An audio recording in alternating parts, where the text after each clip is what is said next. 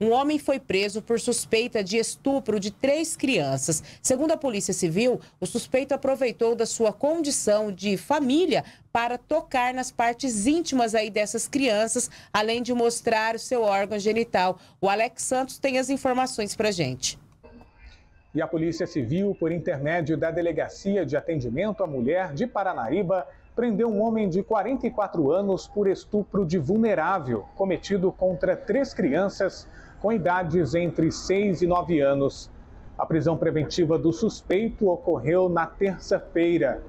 Segundo a investigação preliminar, o suspeito, se aproveitando da sua condição de familiar e da confiança decorrente dessa relação, teria aproveitado para tocar nas partes íntimas das crianças, além também de mostrar o seu órgão genital.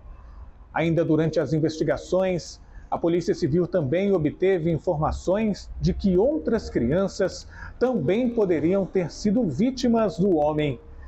Ainda conforme a Polícia Civil, as investigações seguem em andamento para uma completa elucidação desse crime.